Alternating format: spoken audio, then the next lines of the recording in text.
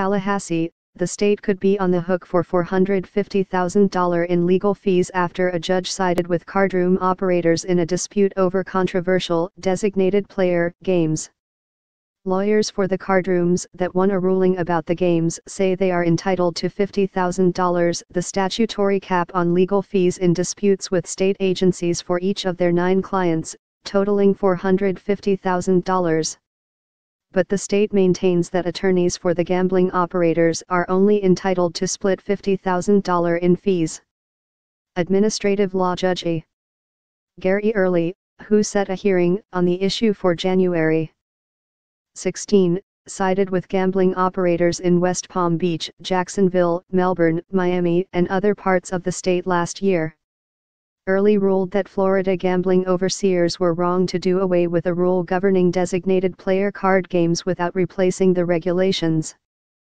First launched in 2012, the games have become wildly popular among gamblers and are now hosted by most pari mutuels that operate card rooms in Florida the industry argued that doing away with the rule, adopted in 2014, would put an end to games that bring in $87 million a year. Archive, a $500 hand in Florida's controversial new poker room. Regulators proposed doing away with the rule in 2015, insisting that the way the games were being conducted and not the games themselves violated a state gambling law, which prohibits pari-mutuels from acting as the bank. Under Florida law, a banking game is defined as one in which the house is a participant in the game, taking on players, paying winners, and collecting from losers, or in which the cardroom establishes a bank against which participants play. Pari-mutuel cardrooms are allowed to conduct games in which players compete only against each other. Lawyers representing the gambling operators convinced early that doing away with the regulation effectively prohibited the cardrooms from offering the lucrative games.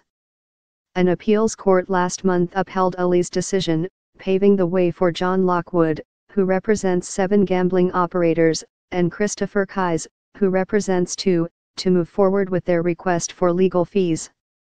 This was a very expensive case to litigate, and the cardrooms want to recoup as much as possible, Lockwood told the News Service of Florida.